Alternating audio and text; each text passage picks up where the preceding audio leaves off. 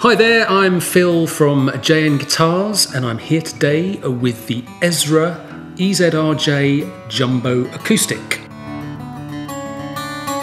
This model features a stunning red sunburst solid cedar top with African sapelli back and sides in a jumbo style body.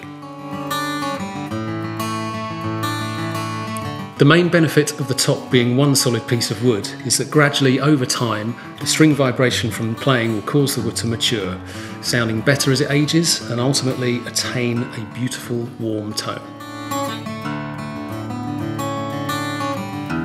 The body shape on this model is a jumbo, uh, which gives a rich and well-rounded tone and projection, and you have the added comfort of the shape of the body.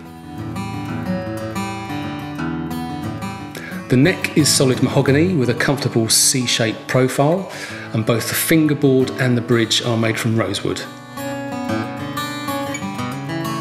The aesthetic embellishments on this guitar include the ivory coloured body binding and an abalone marker at the 12th fret.